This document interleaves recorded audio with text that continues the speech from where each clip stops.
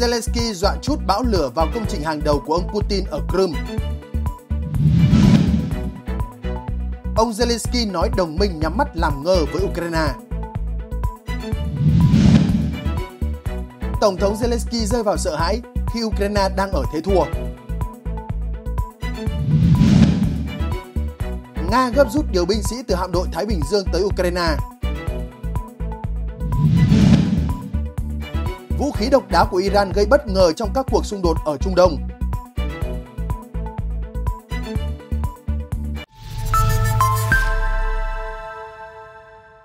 Kính chào quý vị. Vừa rồi là những nội dung chính trong bản tin về chính trường thế giới được chúng tôi liên tục cập nhật theo thời gian thực. Sau đây là nội dung chi tiết. Thưa quý vị, Tổng thống Ukraine Volodymyr Zelensky mới đây đưa ra lời đe dọa sẽ chút bão lửa vào công trình hàng đầu của ông Putin ở Crimea. Ngay sau đó, phía Nga lập tức có động thái đáp trả cứng rắn và cáo buộc Ukraine đang sử dụng chiến thuật khủng bố đối với mục tiêu này. Theo tờ Bill của Đức, Tổng thống Ukraine Volodymyr Zelensky vừa tiết lộ một phần kế hoạch của cuộc phản công mới, bao gồm mục tiêu đánh sập cầu Kerch ở Crimea. Kể từ khi xung đột bùng nổ vào năm 2022, giới chức Ukraine đã đe dọa phá hủy cây cầu dài 19 km nối bán đảo Crimea với vùng Krasnodar vì cho rằng cấu trúc này rất quan trọng đối với quân đội Nga. Hồi tháng 2, chỉ huy Hải quân Ukraine, Phó Đô đốc Alexei Nestapa tuyên bố sẽ phá hủy cây cầu này vào năm 2024. Kiev đã nhiều lần yêu cầu Đức cung cấp tên lửa tầm xa Taurus, mục đích chính là để tấn công cầu Kerch. Thủ tướng Đức Olaf Scholz đã kiên quyết bác bỏ yêu cầu của Kiev, cho rằng Nga có thể coi đây là sự tham chiến của Berlin.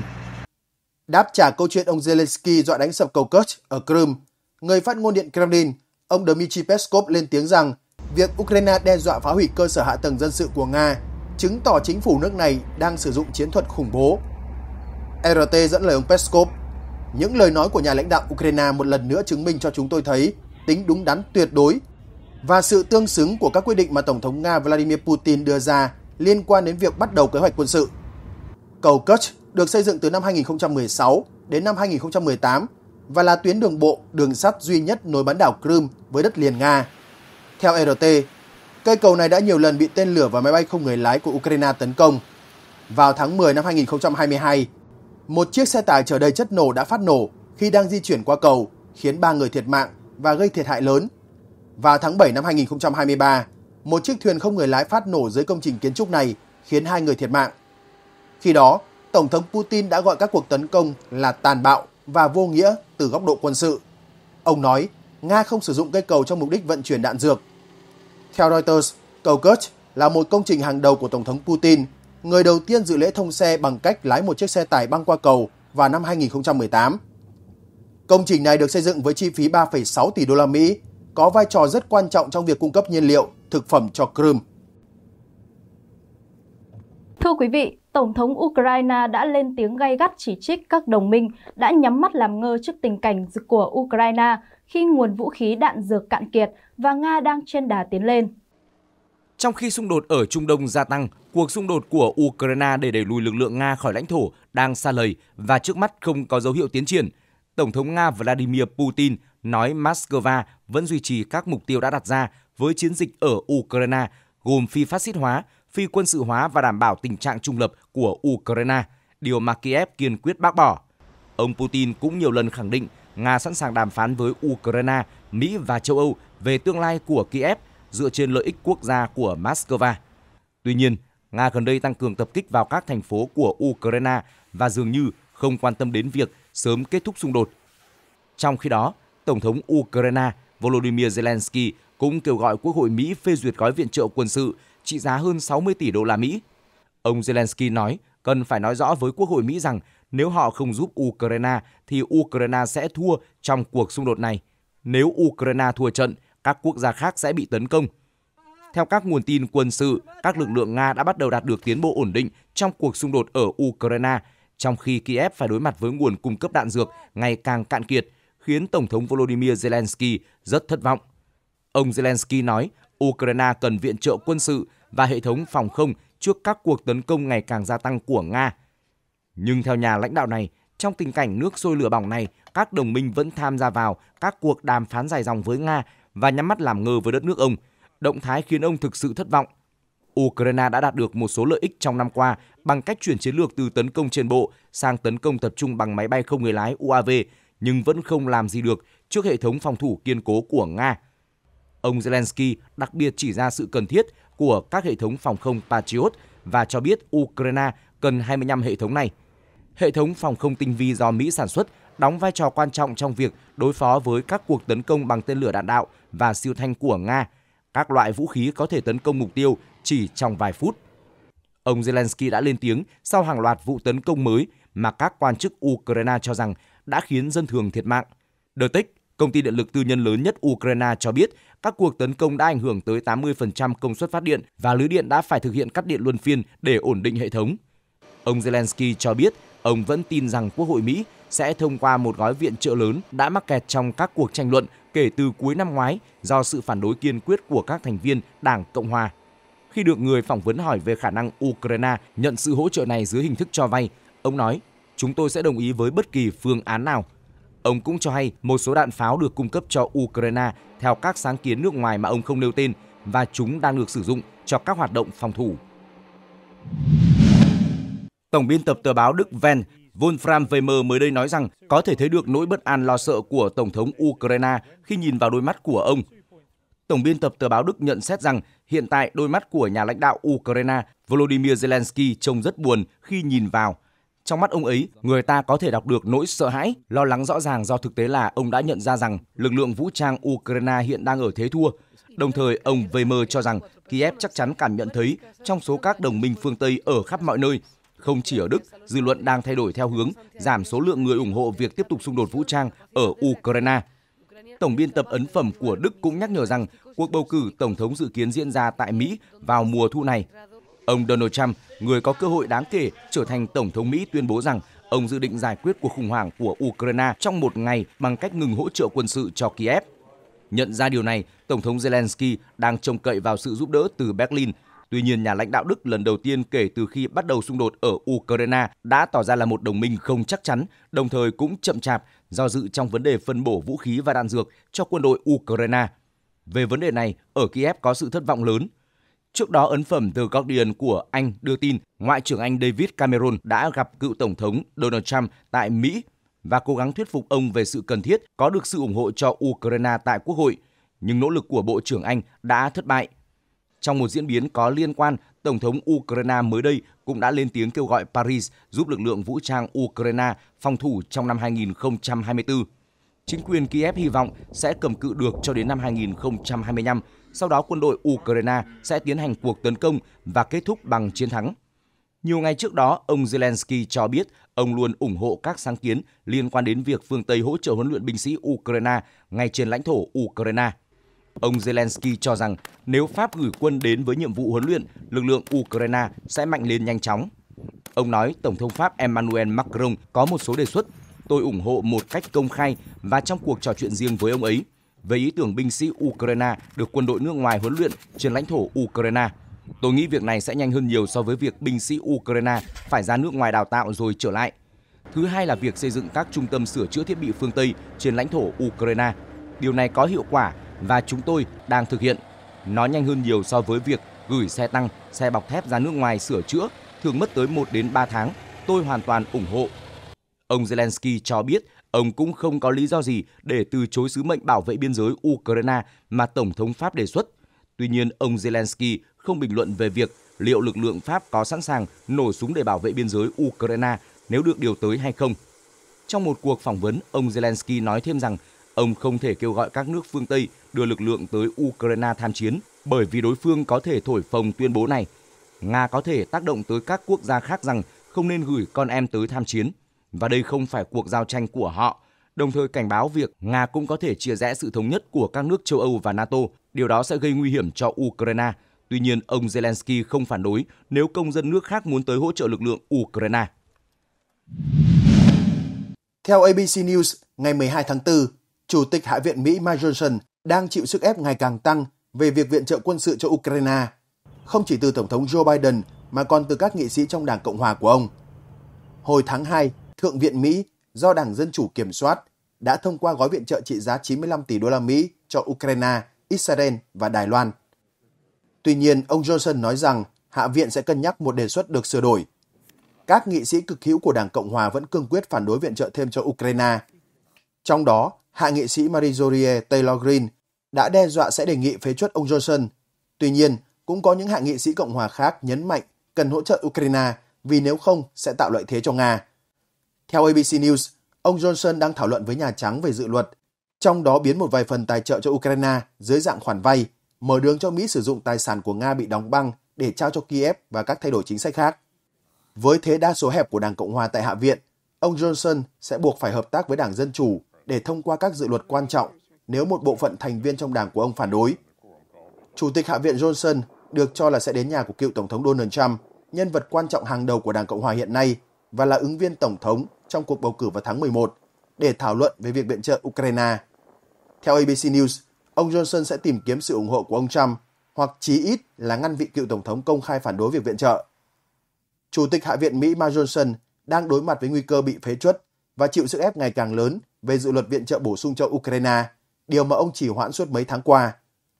Trong vài tuần qua, nghị sĩ Marjorie Taylor Greene liên tục công kích ông Johnson để cảnh báo ông chớ theo đuổi bất kỳ gói viện trợ nào cho Ukraine. Ông Johnson cũng đang làm việc ở hậu trường để tìm ra gói viện trợ có thể được thông qua. Vấn đề khó đối với ông Johnson là bất kỳ gói viện trợ nào cho Ukraine cũng đều cần đa số thành viên Đảng Dân Chủ ủng hộ. Soạn ra một dự luật có thể được Đảng Dân Chủ ủng hộ để viện trợ cho cả Ukraine và Israel sẽ rất khó khăn. Các lãnh đạo Đảng Cộng Hòa đang cân nhắc chia gói viện trợ ra, nhưng điều đó có thể vấp phải trở ngại khi các dự luật được chỉnh lên Thượng viện. Ông Johnson không định tổ chức bỏ phiếu về dự luật viện trợ cho Ukraine trong tuần này, mà sẽ tập trung cho Điều 702 của đạo luật giám sát tình báo nước ngoài. Nhưng ngay cả nỗ lực này cũng có thể bất thành do mâu thuẫn trong nội bộ đảng và một lần nữa khiến Chủ tịch Hạ viện mâu thuẫn với các thành viên cùng đảng. Quốc hội Mỹ cũng phải xử lý hàng loạt vấn đề lớn khác và câu hỏi quan trọng khi Hạ viện Mỹ họp là liệu và khi nào có thể diễn ra cuộc bỏ phiếu để phế chuất chủ tịch.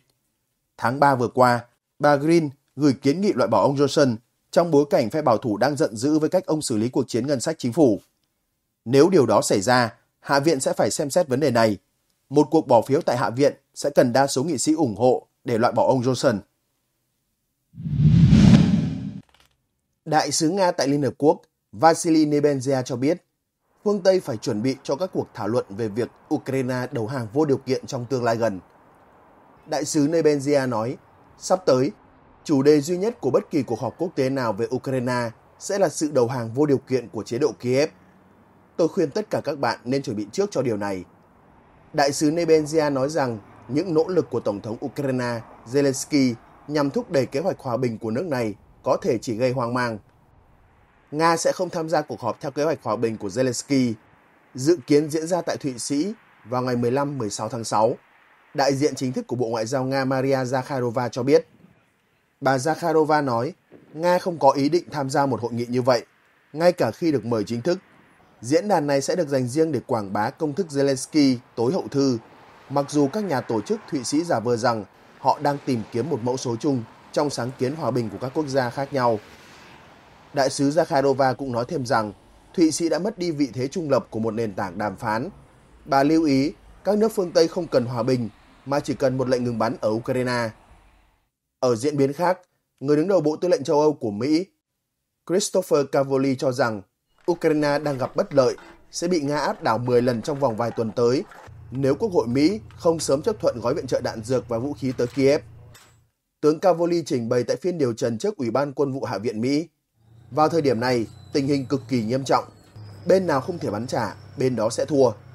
Theo ông Cavoli, Ukraine sẽ hết đạn pháo và đạn phòng không nếu không có sự hỗ trợ thêm của Mỹ. Ông Cavoli nhấn mạnh, bây giờ Nga đang áp đảo Ukraine với tỷ lệ 5-1, tức là Nga bắn số đạn pháo vào lãnh thổ Ukraine nhiều gấp 5 số lần Ukraine bắn trả. Tuy nhiên, tỷ lệ này sẽ ngay lập tức tăng lên 11 trong vài tuần nữa nếu không có sự hỗ trợ của Mỹ. Theo South China Morning Post, việc sản xuất tên lửa của Nga được tăng cường và có thể tiến hành các cuộc tấn công quy mô lớn cứ sau vài ngày. Ông Cavoli nhận định rằng nếu kho dự trữ phòng không của Ukraine cạn kiệt và không có sự cung cấp máy bay đánh chặn của Mỹ, những cuộc tấn công đó sẽ càn quét và làm tê liệt nền kinh tế, xã hội và quân đội Ukraine. Theo ông, nếu Kiev thất thủ, điều này có thể gây nguy hiểm cho các nước thành viên Tổ chức Hiệp ước Bắc Đại Tây Dương NATO, vùng Baltic và có khả năng kéo quân đội Mỹ vào một cuộc xung đột kéo dài ở châu Âu. Thưa quý vị, với tốc độ phá hủy các bệ phóng tên lửa phòng không Patriot của Nga hiện nay, Ukraine hy vọng các đồng minh của nước này có thể đồng thuận với việc viện trợ thêm cho Kiev hệ thống phòng không Patriot càng sớm càng tốt, trong đó có Mỹ. Tuy nhiên, phải nhìn nhận một thực tế rằng ngành công nghiệp Mỹ phải mất vài năm mới sản xuất được một khẩu đội Patriot và mỗi năm Mỹ cũng chỉ sản xuất được 500 quả tên lửa cho các tổ hợp này. Nếu cứ cấp bổ sung cho Ukraine thì Mỹ có nguy cơ không còn tên lửa để dùng. Ông Malik Dudkov, một nhà khoa học chính trị người Mỹ mới đây đã cho biết việc lực lượng vũ trang Nga phá hủy các hệ thống tên lửa phòng không Patriot ở Ukraine là một đòn mạnh đối với cả Nhà Trắng và Lầu Năm Góc cũng như Tổ hợp Công nghiệp Quốc phòng Mỹ. Nhà khoa học chính trị Malik Dudkov viết về điều này trên kênh Telegram của mình rằng cú sốc mà người Mỹ đang trải qua được giải thích là do không thể nhanh chóng thay thế hệ thống phòng không ở Ukraine cũng như việc sản xuất các hệ thống này cũng mất rất nhiều thời gian – Trước đó, tạp chí Forbes cho biết phòng không Ukraine gần như không thể bù đắp vào chỗ trống do hệ thống Patriot bị Nga phá hủy để lại. Ukraine có thể phải mất rất nhiều thời gian để có được các bệ phóng mới cho hệ thống phòng không Patriot do Mỹ sản xuất. Cụ thể, theo tạp chí Forbes, Ukraine có thể xếp hàng mua các bệ phóng để thay thế cho các bệ phóng mà Nga vừa phá hủy, nhưng việc mua đó có thể mất vài tháng, thậm chí nhiều năm và tiêu tốn nhiều triệu đô la mà Kiev có thể đã không có ngân sách chi trả. Trong khi đó, nhà khoa học chính trị Dudak lưu ý rằng các nhà vận động hành lang ở Kiev một lần nữa than phiền và phẫn nộ trước sự chậm trễ trong việc cung cấp các hệ thống phòng không, tên lửa và đạn pháo mới. Ông nhấn mạnh rằng bầu trời Hoa Kỳ hiện được bảo vệ bởi 60 tổ hợp Patriot và lầu năm góc trong mọi trường hợp không có ý định chuyển giao chúng cho chính quyền Kiev bởi họ cần có chúng để bảo vệ lãnh thổ rộng lớn của Mỹ trước các mối nguy hiểm tiềm tàng. Thực tế là ngành công nghiệp Mỹ phải mất vài năm mới sản xuất được một khẩu đội Patriot và mỗi năm Mỹ cũng chỉ sản xuất được 500 quả tên lửa cho các tổ hợp này. Với tốc độ tấn công tên lửa của Nga vào Ukraine hiện nay, số tên lửa này chẳng đủ dùng trong vài tuần. Hiện nay, Ukraine đang yêu cầu cung cấp thêm 7 khẩu đội nữa với ít nhất là 28 bệ phóng để sở hữu tới 10 khẩu đội phòng không Patriot với hàng trăm tên lửa.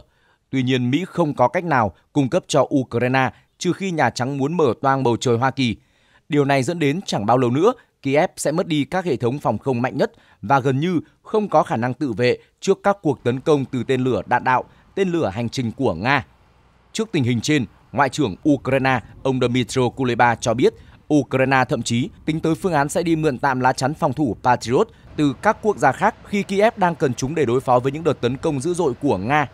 Ông Kuleba cũng thừa nhận Ukraine trong thời gian qua đã thay đổi phong cách ngoại giao khi vận động các nước phương Tây viện trợ lá chắn phòng không. Ông cho rằng biện pháp ngoại giao nhẹ nhàng và trong im lặng không có hiệu quả. Ông mong muốn phong cách ngoại giao cứng rắn sẽ giúp Ukraine đạt được bước đột phá. Vừa qua, Tổng thống Volodymyr Zelensky cảnh báo rằng Ukraine có thể hết tên lửa phòng không nếu Nga tiếp tục chiến dịch ném bom tầm xa dữ dội. Lời cảnh báo của lãnh đạo Ukraine đã cho thấy tình hình mà quân đội nước này đang phải đối mặt sau nhiều tuần bị Nga không kích bằng tên lửa và máy bay không người lái. Trong khi đó, các chuyên gia cảnh báo nếu Ukraine không có đủ các hệ thống phòng không, không quân Nga có thể nhanh chóng phát huy sức mạnh của mình. Justin Bronk, một chuyên gia về Nga và tác chiến trên không tại Viện các quân chủng thống nhất Hoàng gia Anh cho biết, nếu khả năng duy trì phạm vi bao phủ của phòng không trên tiền tuyến và khu vực ngay phía sau không được đảm bảo, Ukraine có thể thua trong cuộc xung đột khá nhanh chóng. Viện Nghiên cứu Chiến tranh ISW có trụ sở tại Washington đánh giá rằng phạm vi bao phủ của lực lượng phòng không Ukraine ngày càng thu hẹp, bố trí giải rác và không nhất quán dọc theo mặt trận đang góp phần khiến Nga gia tăng các cuộc tấn công bằng bom lượn có điều khiển và không điều khiển. Nhờ lợi thế từ các cuộc không kích khiến các vị trí tiền phương của Ukraine suy yếu đáng kể, lực lượng mặt đất của Nga đang tích cực tấn công và giành chiến thắng một cách chậm rãi nhưng chắc chắn các cuộc tấn công của Nga đã buộc Ukraine phải đưa ra những quyết định khó khăn giữa việc cung cấp phòng không để bảo vệ các khu vực đông dân cư ở hậu phương và các khu vực tác chiến ở tiền tuyến và Nga dường như đang lợi dụng chiếc ô phòng không đã xuống cấp của Ukraine nhằm cố gắng phá vỡ mạng lưới năng lượng và hạn chế tiềm năng sản xuất công nghiệp quốc phòng của Ukraine. Các chuyên gia về tác chiến trên không nhận định với Business Insider rằng khả năng Ukraine chống lại lực lượng không quân Nga là một thành tựu cực kỳ ấn tượng – đủ quan trọng để ngăn Nga giành chiến thắng trong cuộc xung đột. Tuy nhiên, chiến lược này của Ukraine sẽ không thể tiếp tục thành công khi nguồn cung các hệ thống phòng không cạn kiệt. Gói hỗ trợ quân sự của Mỹ cho Ukraine trị giá 60 tỷ đô la Mỹ hiện vẫn bế tắc tại Quốc hội. Trong khi đó, các lực lượng của Kiev cho biết họ có thể cảm nhận được tác động khi buộc phải xoay vòng đạn dược và không bắn trúng mục tiêu. Các lực lượng của Nga đang tiếp tục đạt được thành quả ở mặt trận phía đông Ukraine trong những tuần qua sau khi kiểm soát thành phố chiến lược Adivka. Đa số sức ép đối với lực lượng phòng thủ Ukraine đến từ bom lượn của Nga. Loại đạn cỡ lớn có thể tạo ra miệng hố sâu 6 mét và rộng 20 mét với bán kính phá hủy vài trăm mét. Ngoại trưởng Ukraine Dmytro Kuleba gần đây cho biết, Nga đã thả khoảng 700 quả bom lượn chỉ trong một tuần và cách duy nhất để đối phó với chúng là bắn hạ các chiến đấu cơ triển khai phương tiện này – Viện Nghiên cứu Chiến lược Quốc tế IISS có trụ sở tại London cho hay, Nga đang sử dụng bom lượn cùng với đạn tấn công trực tiếp với số lượng lớn để áp đảo hệ thống phòng không Ukraine. Các quả bom lượn vốn là đạn quan tính, được trang bị thêm cánh để tăng tầm hoạt động. Tuy nhiên, IISS gần đây cho biết Nga đã phát triển một loại bom lượn thông minh hơn do vệ tinh dẫn đường. Lực lượng mặt đất Nga hiện nay đã nối lại nỗ lực tấn công về phía Tây từ Bắc Mút, thành phố họ giành được vào tháng 5 năm ngoái – Mục tiêu chiến lược dường như là Chasovja, thị trấn cách Bắc Mút 5 km về phía Tây. Việc giành được Chasovja sẽ tạo điều kiện cho cuộc tiến công của Nga về phía các đô thị trung tâm lớn nhất còn lại của Donetsk là Sloviansk và Kramatorsk. Một cuộc tấn công của Nga vừa qua đã tiến về phía Bodanivka, nằm giữa Bắc Mút và Chasovja. Chasovja cũng là một trung tâm đường sắt và hậu cần quan trọng của quân đội Ukraine. Trước đó, ông Oleg Kalashnikov, người phát ngôn một lữ đoàn của Ukraine triển khai trong khu vực cho biết tình hình ở đây rất khó khăn và căng thẳng. Theo ông Kalashnikov, Nga đang cố gắng tiến hành các cuộc tấn công trực tiếp vào các thị trấn Budanivka và Ivanivske bên ngoài Chasovia. Ông Kalashnikov cảnh báo, nếu Nga giành được thị trấn Chasovia, nước này có thể dội bom vào Kostiantinivka, cách đó 10 km về phía tây nam. Ông Kalashnikov nói, đối phương có thể đe dọa đến các tuyến hậu cần giữa Kostiantinivka, Sloviansk và Kramatorsk đồng thời cho biết Sloviansk và Kramatorsk có thể bị tấn công trực tiếp. Hướng tiến công đáng chú ý còn lại của Nga là phía tây Adipka, nơi các lực lượng của Moscow đã giành quyền kiểm soát làng Krasnohorivka. Trong khi đó, Tổng tư lệnh các lực lượng vũ trang Ukraine Oleksandr Swisky đã miêu tả tình hình quanh Bakhmut và Adipka là đặc biệt khó khăn. Ông Swisky nói, các cuộc giao tranh ác liệt nhất vẫn tiếp diễn trong các khu vực của Pervomaiske cũng như Chasovia, nơi đối phương đang cố gắng xuyên thủng phòng tuyến của quân đội chúng ta. Philip O'Brien, giáo sư về chiến lược tại Đại học St. Andrew cho hay, hiện các cuộc tấn công của Nga dường như đang cố gắng khiến hệ thống phòng không của Ukraine tiêu hao nhiều nhất có thể ở Kiev và sau đó mở rộng chiến lược với phần còn lại của đất nước. Sau đó, khi Ukraine giảm cơ bản hệ thống phòng không ở Kharkov xuống mức thấp nhất có thể, Moscow sẽ tiến hành cuộc tấn công lớn nhằm giành quyền kiểm soát thành phố này. Nga đã nhắm vào Kharkov, thành phố lớn thứ hai của Ukraine, bằng cách tăng cường các cuộc tấn công tên lửa, UAV và bom lượn trong những tuần gần đây. Sau các cuộc tấn công, Tổng thống Zelensky tiết lộ tình hình ở Kharkov rất khắc nghiệt và cho biết Nga bắt đầu sử dụng bom dẫn đường nhắm vào thành phố này gần như hàng ngày. Để duy trì cường độ tấn công, Moscow được cho là đã khai thác đáng kể kho dự trữ tên lửa, đồng thời nỗ lực tìm kiếm nguồn cung, thậm chí nhập khẩu từ các quốc gia khác. Theo giới phân tích, tấn công bằng tên lửa vẫn là một trong những chiến thuật chính của Nga và Moscow sẽ không có nguy cơ sớm cạn kiệt nguồn cung bất chấp thách thức kể trên. Mới đây, Defense Express đưa tin Nga đã dùng tên lửa hành trình KH-69 mới được chế tạo trong vụ tập kích nhà máy Chipinska hôm 11 tháng 4, khiến nhà máy điện có công suất lớn nhất vùng Kiev bị san phẳng. Giới chức Ukraine được cho đã phát hiện ra mảnh vỡ của tên lửa này ở hiện trường. Đây không phải là lần đầu KH-69 được sử dụng ở Ukraine. Trước đó vào tháng 2, Nga có thể đã sử dụng tên lửa hành trình KH-69 mới nhất trong cuộc tấn công tên lửa quy mô lớn vào Ukraine. Thời điểm đó, mạng xã hội Ukraine đã lan truyền hình ảnh mảnh vỡ được cho là tên lửa KH-69 của Nga bị lực lượng Ukraine bắn hạ. Theo các nguồn tin Ukraine, tên lửa mới của Nga thuộc dòng không đối đất và có đặc điểm tương tự như tên lửa Storm Shadow của phương Tây. Đặc biệt, tên lửa là một phần trong hệ thống vũ khí của tiêm kích Su-57. Điều này không loại trừ khả năng Nga đã triển khai siêu tiêm kích Su-57 trong cuộc xung đột hiện tại. Thời điểm đó, giới chức Nga vẫn chưa đưa ra bình luận về các thông tin trên. Theo Defense Express, dù tốc độ của tên lửa này không nhanh bằng và có đầu đạn nhỏ hơn tên lửa siêu vật âm Kinza, nhưng với Ukraine, KH-69 mang lại mối đe dọa lớn hơn, được xem là nguy hiểm hơn. Thứ nhất, nó đã thể hiện hiệu quả trong cuộc tấn công khi phá hủy Chipiska, một trong những nhà máy điện quan trọng của Kiev mà Ukraine đã dồn nhiều nguồn lực để bảo vệ trong thời gian qua. Một phần nguyên nhân đến từ việc Ukraine đang cạn kiệt tên lửa phòng không, khiến việc ngăn cản tên lửa trở nên không hiệu quả. Thứ hai, Máy bay phóng ra KH-69 là các dòng Su-34, Su-35 và Su-57. Vì vậy, các vụ tấn công sử dụng KH-69 khó bị phát hiện sớm. Ngoài ra, vì Nga có số lượng lớn Su-34, Su-35 nên họ có thể tấn công quy mô lớn tên lửa KH-69 vào Ukraine, gây ra hiệu quả tàn phá nghiêm trọng hơn so với việc sử dụng số lượng có giới hạn Kinza cho các mục tiêu quan trọng hàng đầu. Defense Express lưu ý rằng các tên lửa KH-69 mà Nga sử dụng dường như mới là bản thử nghiệm, chưa đi vào sản xuất hàng loạt, nên hiện chưa rõ Nga có bao nhiêu vũ khí loại này. Tên lửa KH-69 được Nga phát triển từ nhiều năm trước. Tuy nhiên, cuộc xung đột giữa Nga-Ukraine đòi hỏi nhu cầu về vũ khí tầm xa có độ chính xác cao, dẫn tới quá trình phát triển và sản xuất tên lửa đã được đẩy nhanh. Tên lửa có khối lượng 710 kg, trong đó đầu đạn mang theo nặng 310 kg, tầm bắn lên đến 290 km và tốc độ tối đa từ 700 đến 1.000 km một giờ. Các chuyên gia phương Tây nhận định rằng, so với một số loại vũ khí chiến thuật phóng từ trên không khác của Nga, đặc biệt là bom lượn hiện đang được sử dụng rộng rãi, KH-69 mang lại bước nhảy vọt đáng kể về khả năng. Tên lửa mới đem lại độ chính xác cao, tầm bắn và khả năng tấn công đáng kể. Tầm bắn của KH-69 cũng sẽ cho phép bắn trúng nhiều mục tiêu, ngay cả khi được phóng từ trong không phận Nga.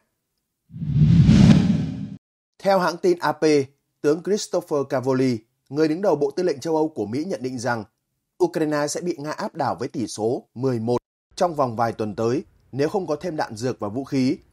Nhận định này được đưa ra khi Quốc hội Mỹ bước vào những tuần quan trọng để bỏ phiếu viện trợ cho Kiev.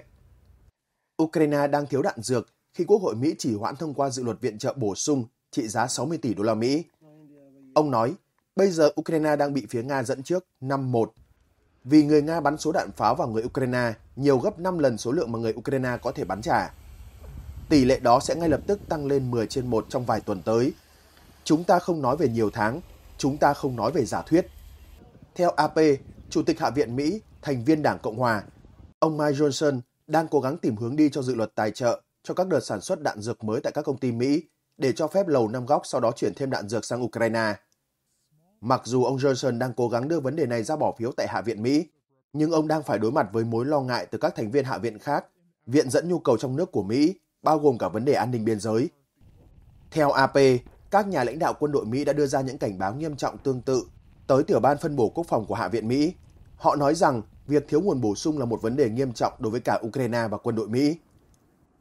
Bộ trưởng lục quân Mỹ Christine Wormuth nói, bên nào không bắn trả được thì thua, và lúc này Ukraine thực sự bắt đầu bị ép phải bắn trả. Vì vậy tôi rất lo ngại.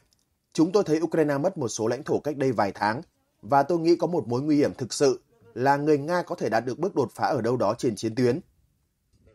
Tướng Randy George, tham mưu trưởng quân đội Mỹ cũng nói rằng cần có nguồn viện trợ để gửi cho Ukraine vũ khí tầm xa và hệ thống phòng không để họ có thể bảo vệ cơ sở hạ tầng quan trọng và quân đội của họ ở tiền tuyến.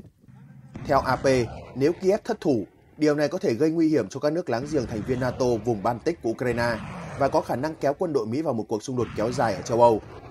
Trong khi đó, trước tình hình cấp bách tại chiến trường, Quốc hội Ukraine vừa thông qua một đạo luật sẽ điều chỉnh cách nước này tuyển dụng lính nghĩa vụ mới sau nhiều tháng chỉ hoãn và sau khi hàng nghìn sửa đổi được đệ trình nhằm làm giảm bớt nội dung của dự thảo ban đầu. Các nhà lập pháp Ukraine đã do dự trong nhiều tháng vì dự luật này được cho là sẽ không được ủng hộ. Luật này được thúc đẩy bởi yêu cầu từ Bộ Chỉ huy quân sự dưới thời cựu Tổng tư lệnh lực lượng vũ trang Ukraine Valery Zaluzhny, người cho biết Kiev cần tới 500.000 tân binh để tăng cường hàng ngũ. Những binh sĩ Ukraine kiệt sức trên tiền tuyến kể từ khi Nga tiến hành kế hoạch quân sự vào cuối tháng 2 năm 2022 đã không có cách nào xoay vòng lực lượng để nghỉ ngơi. Luật này sẽ mang đến một loạt thay đổi đối với hệ thống hiện tại bằng cách mở rộng quyền hạn của chính quyền Ukraine trong việc đưa ra các thông báo dự thảo bằng hệ thống điện tử. Tổng tư lệnh lực lượng vũ trang Ukraine hiện nay, tướng Oleksandr Sisky và Tổng thống Volodymyr Zelensky đã thay đổi con số trên sau khi tiến hành kiểm toán, cho rằng con số cần thiết trên thực tế không cao vì binh lính có thể được luân chuyển từ phía sau tiền tuyến. Việc ông Zalutny bị sa thải được cho là do vấn đề huy động lực lượng của Ukraine. Trong một diễn biến liên quan, Quốc hội Ukraine đã đồng ý xem xét dự luật cho phép các tù nhân đang thụ án được nhập ngũ như một hình thức giảm nhẹ án phạt, giữa bối cảnh quân đội Ukraine đang thiếu nguồn lực trầm trọng. Thưa quý vị, quân đội Anh vừa qua tuyên bố sẽ xem xét đẩy nhanh tiến độ triển khai pháo laser lửa rồng để khí tài này có thể sớm thực chiến tại Ukraine. Trong khi đó, pháo laser lửa rồng được Bộ Quốc phòng Anh giới thiệu là giải pháp hiệu quả và có chi phí thấp để đối phó với drone. Cơ quan này cho biết khí tài có khả năng khai hỏa chùm laser công suất lớn với độ chính xác cao, đủ sức bắn trúng và phá hủy drone gần như ngay lập tức. Bộ Quốc phòng Anh ngày 12 tháng 4 thông báo pháo laser lửa rồng sẽ được lắp đặt trên tàu chiến của London vào năm 2027, sớm hơn 5 năm so với kế hoạch ban đầu. Thông tin được công bố sau khi Bộ Quốc phòng Anh áp dụng mô hình mua sắm mới nhằm đẩy nhanh tiến trình triển khai các khí tài tiên tiến ra thực địa. Bộ trưởng Bộ Quốc phòng Anh Grant Sharp cho biết, mô hình mới cho phép chúng tôi không phải đợi đến khi các khí tài được hoàn thiện 99,9% mới có thể đưa chúng vào vận hành, chỉ cần đạt mức khoảng 70% rồi triển khai luôn, sau đó tiếp tục phát triển. Ông tiết lộ hai cuộc xung đột lớn hiện nay là nguyên nhân khiến Anh đẩy nhanh tiến độ sản xuất lửa rồng. Việc quan chức này nói, trong bối cảnh đang diễn ra hai cuộc xung đột lớn, một là ở trên biển và một ở châu Âu, việc sở hữu một vũ khí chuyên diệt thiết bị không người lái drone sẽ có tác động rất lớn. Dường như đang đề cập tới xung đột tại Ukraine và các cuộc tập kích của Houthi nhằm vào tàu hàng ở Biển Đỏ. Bộ trưởng Bộ Quốc phòng Anh cũng cho biết sẽ xem xét khả năng đẩy nhanh hơn nữa tiến độ ra mắt mẫu pháo laser để người Ukraine có thể chạm tay vào nó. Tuyên bố mới nhất trên của ông Saps dường như xác nhận rằng nước này có ý định chuyển giao lửa rồng cho Ukraine. Bộ Quốc phòng Anh trước đó cho biết lửa rồng có khả năng khai hỏa với độ chính xác cao, đủ sức bắn trúng đồng xu ở khoảng cách 1 km. Cơ quan này không tiết lộ tầm bắn của khí tài, song khẳng định nó có thể tấn công bất kỳ mục tiêu nào trong tầm nhìn. Các loại vũ khí laser như lửa rồng được coi là giải pháp hiệu quả và có chi phí thấp để bắn hạ những mục tiêu như drone, loại vũ khí đang được sử dụng phổ biến tại chiến trường Ukraine. Bộ Quốc phòng Anh cho biết mỗi phát bắn của lửa rồng có chi phí khoảng 13 đô la Mỹ, trong khi tên lửa của các hệ thống phòng không mà Ukraine thường dùng để bắn hạ drone có giá tới hàng trăm nghìn, thậm chí hàng triệu đô la Mỹ mỗi quả. Bộ trưởng Bộ Quốc phòng Anh Grant Sharp cũng nhấn mạnh lửa rồng có tiềm năng cách mạng hóa phương thức chiến đấu trong tương lai, giúp giảm phụ thuộc vào các loại đạn đắt và hạn chế thiệt hại ngoài dự kiến. Dù vậy, giới chuyên gia lưu ý rằng hiệu quả thực chiến của các khí tài như lửa rồng vẫn chưa được kiểm chứng và chúng có một số nhược điểm. Sương mù, mưa và khói trên chiến trường có thể làm phân tán chùm tia laser và giảm sát thương lên mục tiêu. Vũ khí laser cũng tỏa ra nhiều nhiệt lượng khi khai hỏa nên cần được tích hợp hệ thống làm mát kích cỡ lớn, hạn chế tính cơ động của tổ hợp. Các hệ thống laser di động như loại gắn trên tàu chiến hay máy bay sẽ cần được sạc ắc quy thường xuyên. Chùm tia laser cũng cần phải khóa mục tiêu trong vài giây mới có thể phá hủy nó, điều không dễ thực hiện với các vật thể có tốc độ bay nhanh. Trong bối cảnh bế tắc khi giao tranh với Nga do thiếu đạn dược và nhân lực, Ukraine đã tăng cường tấn công sâu vào đằng sau chiến tuyến của Nga, nhắm vào tàu chiến, các tuyến đường sắt và sân bay của đối phương nhằm làm giảm bớt các hoạt động quân sự của Moscow. Forbes đưa tin, Nga đang phải đối mặt với một mối đe dọa mới đằng sau chiến tuyến. Những trông sắt bốn cạnh có thể gây nổ lốp xe do UAV thả xuống các tuyến đường. Về mặt bản chất, trông sắt bốn cạnh là loại vũ khí đã được sử dụng từ lâu trong các cuộc xung đột – Ukraine giờ đây đang sử dụng chúng nhằm khiến các đoàn xe chở hàng tiếp tế của Nga bị nổ lốp. Trong thời gian những chiếc xe này dừng lại, Ukraine sẽ điều khiển UAV tự sát tấn công hoặc ném thuốc nổ xuống để phá hủy. Hậu cần là một phần quan trọng hàng đầu, là huyết mạch trong mọi cuộc giao tranh. Trong các cuộc giao tranh, các bên đều rất cần được cung cấp lượng lớn quân tư trang, vũ khí, đạn dược, lương thực để duy trì chiến sự. Ngoài ra, các chuyên gia và giới chức Ukraine cho hay Kiev hy vọng sẽ có thể làm gián đoạn các tuyến hậu cần và hoạt động chiến đấu của Nga bằng cách nhắm mục tiêu vào các nhà máy lọc dầu, nơi cung cấp nhiên liệu cho xe tăng, máy bay chiến đấu và các thiết bị quân sự quan trọng khác của Moscow.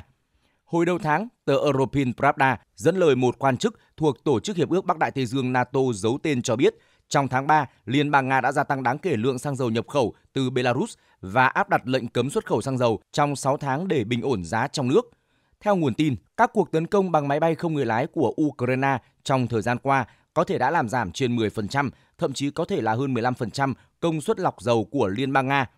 Tùy thuộc vào mức độ thiệt hại, việc sửa chữa các cơ sở lọc dầu bị máy bay không người lái của Ukraine tấn công có thể mất một khoảng thời gian đáng kể và làm phát sinh thêm chi phí tài chính. Nguồn tin cũng chỉ ra rằng một số cuộc tấn công bằng máy bay không người lái của Ukraine đã được tiến hành ở khoảng cách hơn 1.000 km đồng thời nhấn mạnh tới quy mô của các cuộc tấn công. Nguồn tin kết luận, tôi tin rằng trong tương lai, ngày càng ít cơ sở hạ tầng năng lượng của Liên bang Nga được bảo vệ khỏi các cuộc tấn công tiềm tàng và nền kinh tế Liên bang Nga sẽ ngày càng bị ảnh hưởng trong lĩnh vực này. Trước đó, hãng tin Reuters đưa tin các công ty dầu mỏ của Liên bang Nga đang gặp khó khăn trong việc sửa chữa các nhà máy lọc dầu do lệnh trừng phạt của phương Tây và các cuộc tấn công bằng máy bay không người lái của Ukraine có thể làm trầm trọng thêm vấn đề này. Hãng TASS ngày 12 tháng 4 dẫn lời ông Vladimir Yermakov, vụ trưởng vụ kiểm soát và không phổ biến vũ khí thuộc Bộ Ngoại giao Nga cho rằng việc sử dụng vệ tinh thương mại trong hoạt động chiến đấu đang trở thành mối đe dọa ngày càng tăng. Cụ thể, ông cáo buộc rằng Ukraine chủ động sử dụng mạng lưới vệ tinh phi chiến đấu Starlink của Mỹ trong các hoạt động quân sự chống lại Nga. Theo ông Yamakov, Nga xem đó là mối đe dọa ngày càng tăng khi các vệ tinh thương mại và cơ sở hạ tầng mặt đất liên quan được tuyên bố là hệ thống phục vụ mục đích dân sự, được sử dụng để hỗ trợ các hoạt động chiến đấu quân sự và can thiệp vào công việc nội bộ của các quốc gia có chủ quyền. Nhà ngoại giao này nói rằng hành động đó là không thể chấp nhận. Ông cảnh báo, chúng tôi cũng tin rằng hậu quả là tính bền vững lâu dài của các hoạt động không gian và nhiều quá trình kinh tế xã hội phụ thuộc trực tiếp vào việc ứng dụng công nghệ vũ trụ sẽ gặp phải những rủi ro phi lý.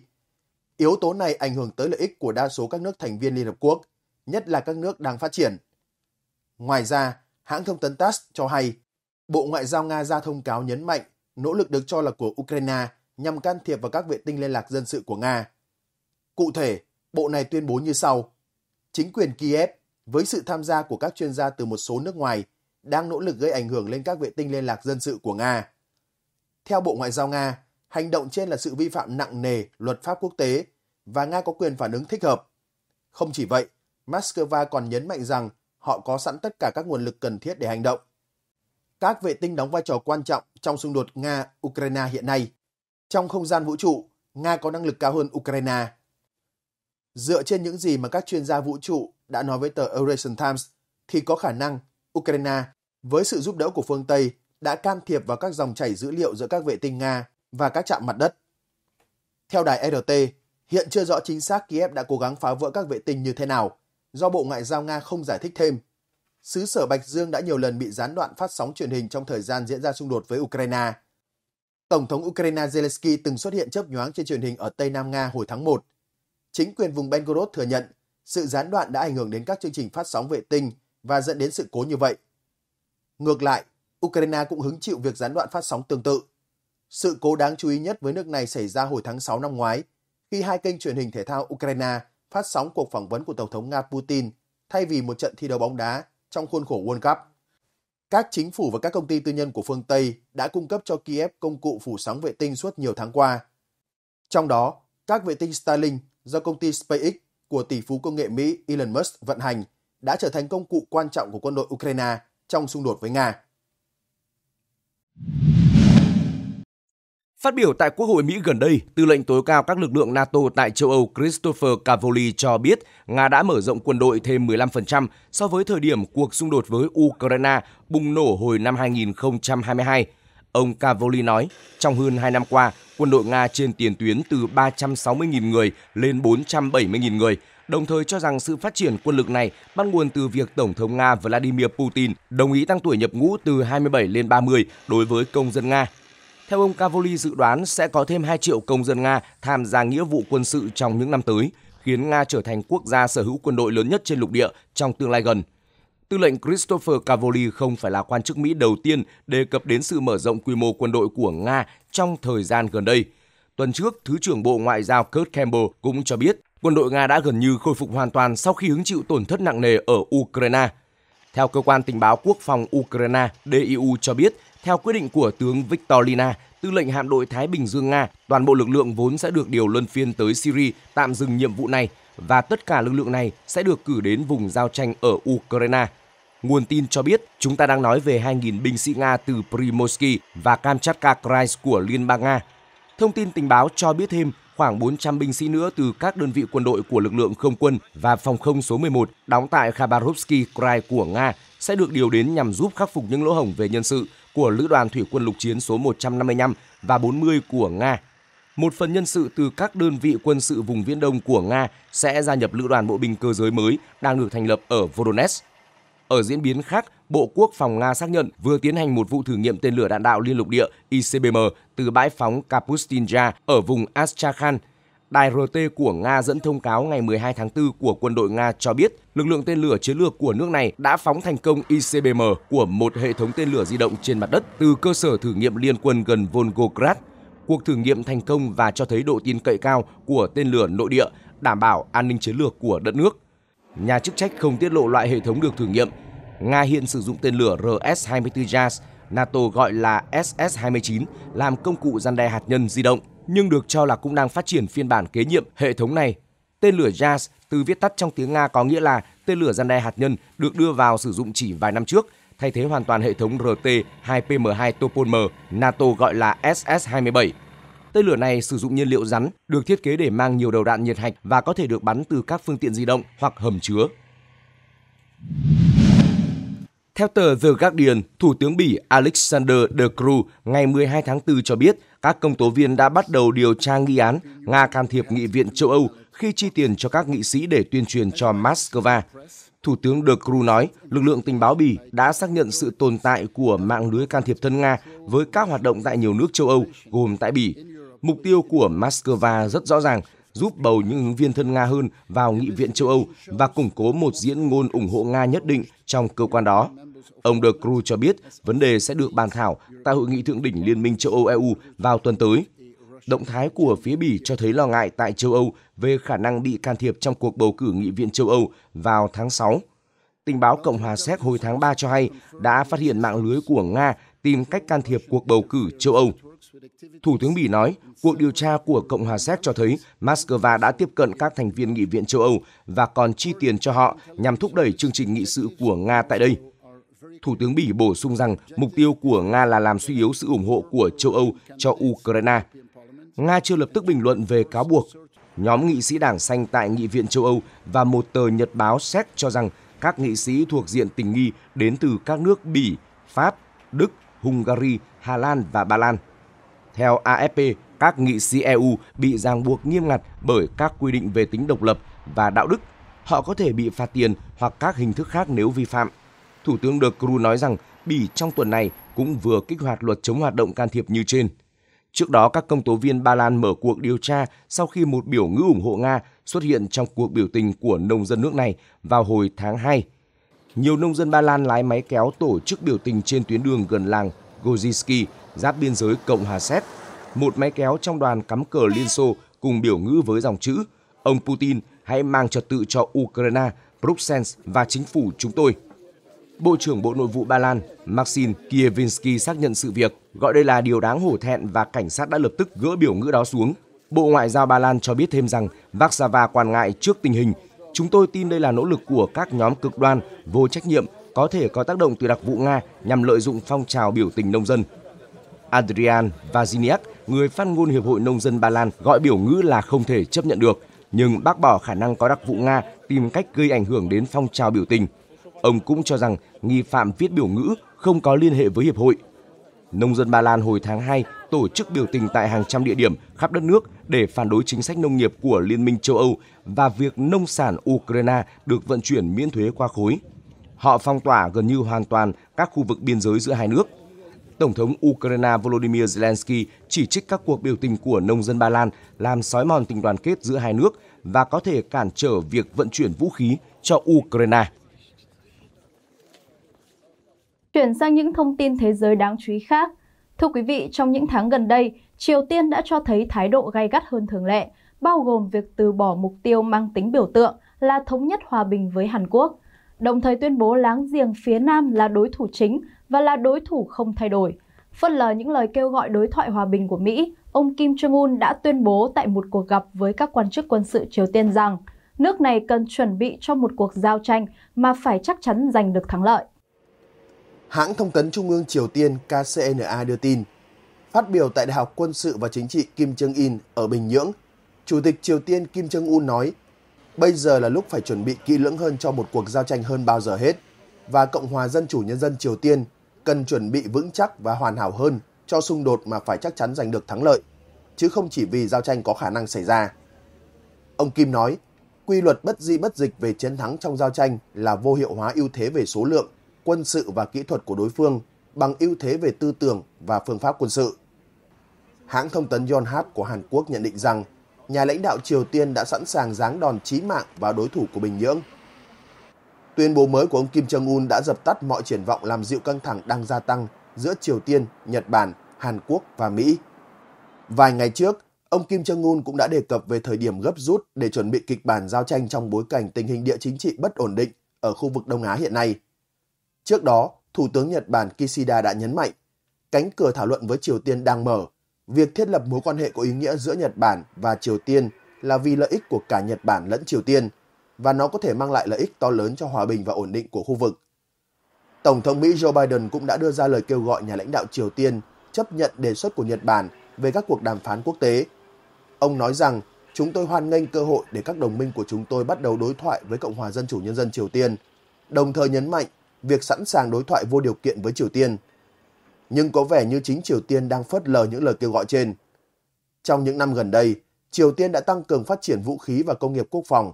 Ông Kim Jong-un nhấn mạnh nước này sẽ không do dự mà giáng đòn chí tử vào đối phương bằng cách huy động mọi phương tiện sẵn có. Song song đó là củng cố và thắt chặt mối quan hệ quân sự với Nga. Bên cạnh đó, ông Kim cũng chỉ rõ bối cảnh quốc tế hiện rất phức tạp, đồng thời tình hình quân sự và chính trị bất ổn xung quanh Triều Tiên. Triều Tiên cũng cáo buộc Mỹ và Hàn Quốc gây căng thẳng quân sự bằng cách tiến hành diễn tập quân sự với cường độ và quy mô ngày càng lớn trong những tháng gần đây. Theo John Hap, Hàn Quốc và Mỹ đã tổ chức một cuộc tập trận tác chiến kết hợp trên biển để trau dồi kỹ năng ngăn chặn các mối đe dọa và đảm bảo an ninh hàng hải. Ngày 11 tháng 4, Bộ Ngoại giao Trung Quốc công bố các biện pháp trên nhằm vào hai công ty là General Atomics Aeronautical Systems và General Dynamics Land Systems. General Atomics Aeronautical Systems sản xuất các thiết bị như máy bay không người lái quân sự, còn General Dynamics Land Systems sản xuất xe tăng, xe bọc thép và các thiết bị khác. Bộ Ngoại giao Trung Quốc cho biết Bắc Kinh đang phong tỏa tài sản của hai công ty này ở Trung Quốc và cấm lãnh đạo công ty nhập cảnh vào nước này. Theo Bộ Ngoại giao Trung Quốc, các biện pháp trên thể theo luật pháp Trung Quốc về chống lại các lệnh trừng phạt nước ngoài. Bộ này nói rằng việc bán vũ khí vi phạm nghiêm trọng nguyên tắc một Trung Quốc, can thiệp vào công việc nội bộ của Trung Quốc và làm suy yếu đáng kể chủ quyền và toàn vẹn lãnh thổ của nước này. Đây là đợt trừng phạt mới nhất được Trung Quốc áp dụng đối với các doanh nghiệp Mỹ vì liên quan đến việc bán vũ khí cho Đài Loan. Cũng liên quan đến tình hình xung quanh biển Hoa Đông, theo hãng thông tấn Yonhap, cuộc tập trận thường niên mang tên Huấn luyện bay Hàn Quốc KFT kéo dài 2 tuần được triển khai tại căn cứ không quân Kunsan ở thành phố Gunsan, cách thủ đô Seoul 178 km về phía nam. Thông cáo chung cho biết khoảng 100 máy bay thuộc 25 loại khác nhau, bao gồm cả máy bay tiêm kích tàng hình F-35B của Mỹ và F-35A của Hàn Quốc được huy động cho cuộc huấn luyện năm nay. Lực lượng lục quân và thủy quân lục chiến Mỹ cũng sẽ tham gia cuộc tập trận này. Các khoa mục huấn luyện tập trung vào khả năng phối kết hợp hoạt động của các máy bay tiêm kích hiện đại, tăng cường năng lực tấn công chính xác, huấn luyện quân đội về các tình huống tìm kiếm cứu hộ và chiến đấu cũng như huấn luyện nhảy dù hàng loạt. Theo tướng Charles G. Cameron, chỉ huy tác chiến tại lực lượng không quân số 7 của Mỹ ở Hàn Quốc, cuộc tập trận nhằm tăng cường khả năng hiệp đồng tác chiến cũng như khả năng sẵn sàng ứng phó trong mọi tình huống. KFT là một trong hai cuộc tập trận không quân quy mô lớn mà Hàn Quốc và Mỹ tổ chức hàng năm. KFT thường diễn ra vào nửa đầu năm, trong khi cuộc tập trận khác có tên là Vigilant Defense vào năm ngoái được triển khai vào nửa cuối năm. Trước đó, Hàn Quốc và Mỹ đã tái khẳng định kế hoạch tổ chức cuộc diễn tập bàn tròn, trong đó thảo luận ứng phó các tình huống khẩn cấp giả định, bao gồm các mối đe dọa hạt nhân. Theo tuyên bố chung, hai bên đã ghi nhận kế hoạch diễn tập bàn tròn trong đối thoại quốc phòng tích hợp Hàn-Mỹ KIDD thường kỳ diễn ra ở thủ đô Washington, Mỹ. Trước đó, trong phiên họp của nhóm tham vấn hạt nhân NCG vào tháng 12 năm ngoái, hai bên đã nhất trí đưa các kịch bản về vấn đề hạt nhân vào cuộc diễn tập quân sự thường kỳ vào mùa hè. Trong cuộc đối thoại quốc phòng mới nhất, Mỹ đã tái khẳng định cam kết bảo vệ Hàn Quốc trước các cuộc tấn công hạt nhân. Hai bên cũng tổ chức các cuộc thảo luận chuyên sâu về hợp tác trong lĩnh vực bảo trì, sửa chữa và đại tu MRO ở khu vực Ấn Độ Dương, Thái Bình Dương. Phía Washington ghi nhận những nỗ lực của Seoul trong việc hợp tác phát triển các sáng kiến MRO, đồng thời khẳng định sự hợp tác này phù hợp với định hướng nâng cao vị thế và năng lực của Liên minh Mỹ-Hàn. KIDD được coi là một phần trong quá trình chuẩn bị cho phiên họp lần thứ ba của NCG vào tháng 6 năm nay. NCG được thiết lập theo tuyên bố Washington đã được Tổng thống Hàn Quốc Yoon suk yeol và Tổng thống Mỹ Joe Biden thông qua tại cuộc gặp thượng đỉnh ở Washington hồi tháng 4 năm 2023. Hai vòng tham vấn trước đây do Hội đồng An ninh Quốc gia hai nước chủ trì có sự tham dự của quan chức cấp cao về quốc phòng, chính sách đối ngoại, quân sự và tình báo của hai bên. Cuộc họp đầu tiên diễn ra tại Seoul vào tháng 7 năm 2023 và cuộc gặp thứ hai được tổ chức tại Washington vào tháng 12 cùng năm. Liên quan đến tình hình xung đột tại Trung Đông, một số nguồn tin nói rằng Iran đã báo trước cho Mỹ về kế hoạch trả đũa của nước này đối với Israel sau vụ đại sứ quán Tehran ở Syria bị tấn công. Iran cho biết nước này cũng sẽ không hành động vội vàng. Hãng tin Reuters dẫn lời một số nguồn tin Iran rằng Iran đã báo trước cho Mỹ về việc nước này sẽ đáp trả cuộc tấn công của Israel vào đại sứ quán của Tehran ở Syria. Theo nguồn tin, đòn trả đũa của Iran sẽ được tiến hành theo cách tránh gia tăng diện rộng và Tehran cũng sẽ không hành động vội vàng. Nguồn tin cho biết thông điệp trên đã được Ngoại trưởng Iran, ông Hossein Amir Abdullahian, chuyển đi hôm 7 tháng 4 khi ông này tới thăm Oman, quốc gia thường đóng vai trò trung gian giữa Tehran và Washington. Theo Reuters, một nguồn tin quen thuộc với tình báo Mỹ cho biết Iran đã nói rất rõ ràng rằng đòn trả đũa của nước này sẽ nằm trong tầm kiểm soát và không gây leo thang tình hình và cũng có kế hoạch sử dụng lực lượng ủy nhiệm trong khu vực để tấn công vào Israel. Theo nguồn tin, Tehran cũng tìm kiếm sự đảm bảo rằng Mỹ sẽ không can dự trong trường hợp Iran tấn công có kiểm soát vào Israel, nhưng phía Washington đã bác bỏ yêu cầu đó. Trong khi đó, cộng đồng quốc tế đang thúc giục các nước ở Trung Đông kiềm chế giữa lúc nỗi lo gia tăng về kịch bản Iran tấn công trả đũa Israel. Lo ngại tình hình Trung Đông thêm căng thẳng, người phát ngôn điện Kremlin Dmitry Peskov đã kêu gọi tất cả các bên tiếp tục kiềm chế để ngăn khu vực rơi vào bất ổn hoàn toàn.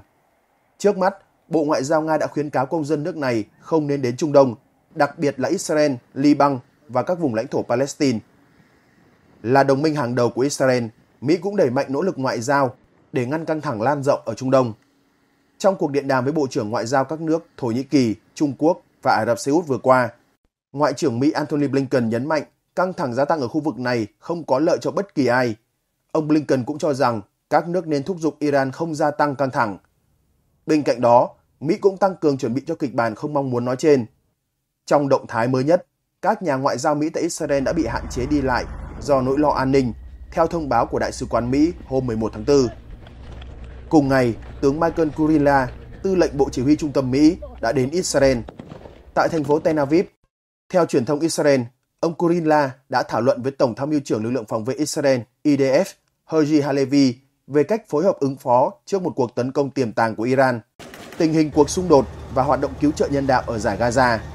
Ông Kurinla cũng đến thăm trụ sở của lực lượng không quân Israel để nắm thông tin về hệ thống phòng thủ và tấn công đa tầng của nước này.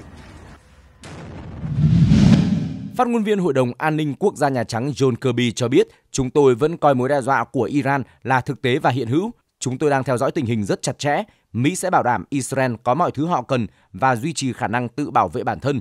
Quan chức Nhà Trắng không đề cập thông tin cho rằng Tehran có thể tấn công trả đũa Tel Aviv trong vòng 24 đến 48 giờ tới, đồng thời từ chối bình luận liệu Mỹ có sẵn sàng đánh chặn tên lửa Iran nhắm vào Israel hay không. Đồng thời nói thêm, Mỹ cũng kiểm tra trạng thái sẵn sàng chiến đấu của lực lượng triển khai tại khu vực nhằm bảo đảm chúng tôi đã chuẩn bị đầy đủ. Giới chức Iran và Israel chưa bình luận về thông tin trên. Wall Street Journal dẫn nguồn tin giấu tên am hiểu tình hình cho biết Iran có thể phát động cuộc tấn công trực tiếp nhằm vào miền Bắc hoặc miền Nam Israel. Tuy nhiên, một nguồn tin khác nói rằng Tehran đang thảo luận kế hoạch tập kích và chưa đưa ra quyết định cuối cùng. Mỹ và đồng minh vẫn luôn tin rằng các cuộc tấn công bằng tên lửa hoặc máy bay không người lái của Iran hoặc các lực lượng ủy nhiệm của nước này nhằm vào các mục tiêu quân sự và chính phủ ở Israel sắp xảy ra. Trong tình hình đó, Tổng thống Mỹ Joe Biden đã tuyên bố Mỹ cam kết đảm bảo an ninh cho Israel trước những mối đe dọa từ Iran và các lực lượng ủy nhiệm. Trong khi đó, Israel cho biết đã sẵn sàng trước cuộc tấn công của Iran và nếu Iran tấn công vào lãnh thổ của Israel, nước này cũng sẽ đáp trả bằng cuộc tấn công vào lãnh thổ Iran. Cơ quan đại diện ngoại giao của Israel ở nước ngoài cũng được coi là mục tiêu cho các cuộc tấn công tiềm tàng. Israel đã đóng cửa hàng chục đại sứ quán, lãnh sự quán của nước này trên khắp thế giới. Trước đó, lãnh tụ tối cao Iran Ali Khamenei một lần nữa tuyên bố sẽ trả đũa Israel vì cuộc tấn công vào khu phức hợp đại sứ quán Iran tại Syria, đồng thời chỉ trích các nước phương Tây đã ủng hộ Israel. Dư luận quốc tế đã đặt ra lo ngại một cuộc tấn công trực tiếp của Iran vào lãnh thổ Israel sẽ làm gia tăng sự đối nghịch một cách nghiêm trọng, có thể khiến xung đột lan rộng tại khu vực, kéo theo những hệ lụy phức tạp.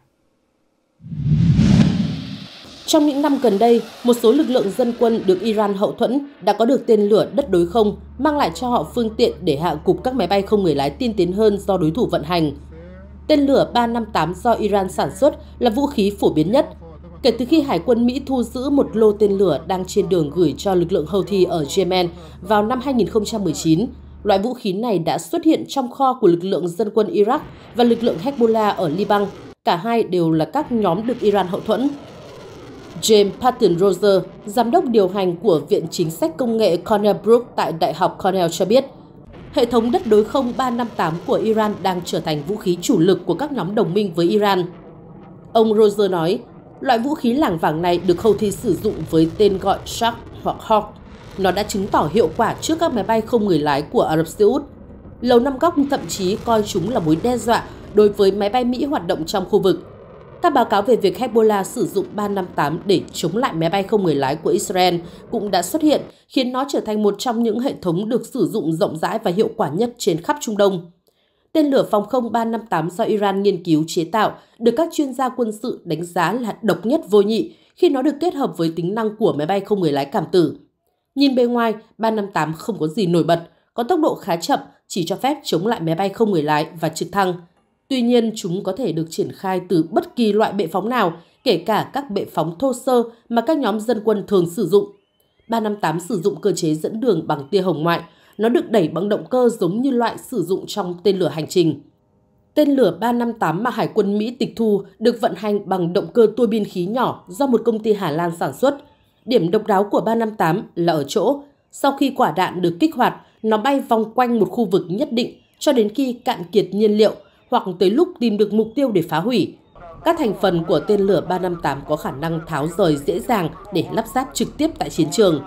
Việc sử dụng tên lửa 358 không yêu cầu radar phát hiện mục tiêu khi nó có thể tuần tra khu vực, giúp giảm thiểu chi phí của việc huy động máy bay chiến đấu hay cả tổ hợp phòng không phức tạp để kiểm soát một địa điểm riêng lẻ.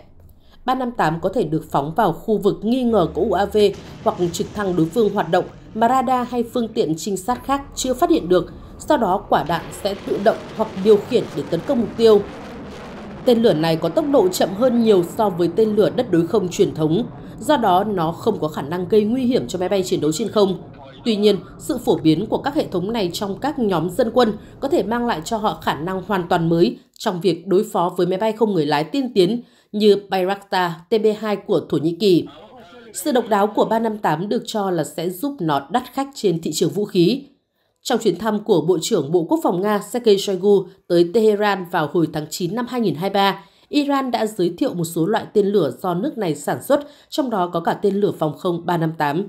Giới phân tích cho rằng Nga quan tâm đến tên lửa 358 bởi đây là vũ khí hiệu quả để chống lại những cuộc tấn công bằng máy bay không người lái của Ukraine. Nhóm vũ trang Hezbollah hôm 12 tháng 4 thông báo phóng hàng chục quả đạn pháo phản lực rocket nhằm vào hàng loạt trận địa pháo của đối phương, khẳng định đây là động thái trả đũa những vụ không kích của Israel nhằm vào các ngôi làng và nhà dân ở miền nam Liban. Bộ Quốc phòng Israel sau đó thông báo lực lượng phòng không phát hiện 40 quả rocket bay qua biên giới và đánh chặn một số trong đó. Cùng hai máy bay không người lái UAV mang chất nổ. Tuy nhiên không có trường hợp thương vong nào được ghi nhận. Video đăng trên mạng xã hội cho thấy hệ thống phòng không Iron Dome vòng sắt được kích hoạt để chặn rocket của Hezbollah. Theo đánh giá, vụ phóng rocket vào đêm 12 tháng 4 dường như là cuộc tập kích đơn lẻ. Tuy nhiên, giới chuyên gia quân sự phương Tây cảnh báo đó cũng có thể là đòn mở đầu cho chiến dịch tấn công lớn chưa từng thấy của Tehran nhằm vào Tel Aviv để trả đũa vụ tấn công khu sứ quán Iran tại Syria hôm 1 tháng 4. Trong bối cảnh đó, Ngoại trưởng các nước Mỹ, Đức và Anh đã kêu gọi Iran kiềm chế, nhấn mạnh nguy cơ xung đột lan rộng nếu một trong hai bên không thực hiện các biện pháp giảm căng thẳng. Theo Ngoại trưởng Đức Annalena Baerbock, sau cuộc tấn công của Israel vào khu vực tòa nhà lãnh sự Iran ở Syria, Đức đã khẳng định lập trường cho rằng các cơ quan ngoại giao cần được hưởng quyền miễn trừ hoàn toàn. Ngoại trưởng Anh Cameron cũng kêu gọi Iran kiềm chế, nhấn mạnh nguy cơ xung đột lan rộng nếu một trong hai bên không thực hiện các biện pháp giảm căng thẳng. Trong khi đó, Ngoại trưởng Mỹ Antony Blinken đã kêu gọi Bộ trưởng Bộ Ngoại giao Trung Quốc Vương Nghị và những người đồng cấp khác sử dụng ảnh hưởng để ngăn cản Iran tấn công Israel – Phát biểu trước báo giới, người phát ngôn Bộ Ngoại giao Mỹ Matthew Miller cho biết ông Blinken đã điện đàm với những người đồng cấp Trung Quốc, Thổ Nhĩ Kỳ, Ả Rập Xê Út và châu Âu vài ngày trước để làm rõ rằng căng thẳng không có lợi cho bất kỳ ai và các nước nên kêu gọi Iran không gia tăng căng thẳng. Trong khi đó, mối quan hệ giữa Iran và Israel vẫn đang rất căng thẳng. Ngày 11 tháng 4, Tư lệnh Hải quân thuộc lực lượng vệ binh cách mạng Hồi giáo Iran IRGC, chuẩn đô đốc Ali Reza Tangsiri đã đề xuất thành lập lực lượng Hồi giáo thống nhất bao gồm quân đội từ các quốc gia Hồi giáo trong bối cảnh căng thẳng hiện nay ở Trung Đông có nguy cơ gia tăng.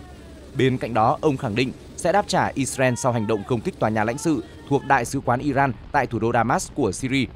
Về phần mình, trong cuộc thảo luận với người đồng cấp Mỹ Lloyd Austin, Bộ trưởng Bộ Quốc phòng Israel Joab Galan cảnh báo bất kỳ cuộc tấn công trực tiếp nào của Iran vào lãnh thổ Israel đều sẽ nhận lại hành động đáp trả tương xứng từ quốc gia Do Thái này.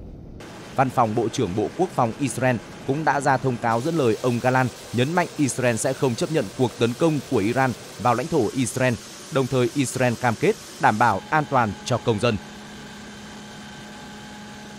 Nội dung vừa rồi đã khép lại chương trình trên kênh YouTube của chúng tôi ngày hôm nay. Cảm ơn quý vị đã quan tâm theo dõi. Xin kính chào và hẹn gặp lại.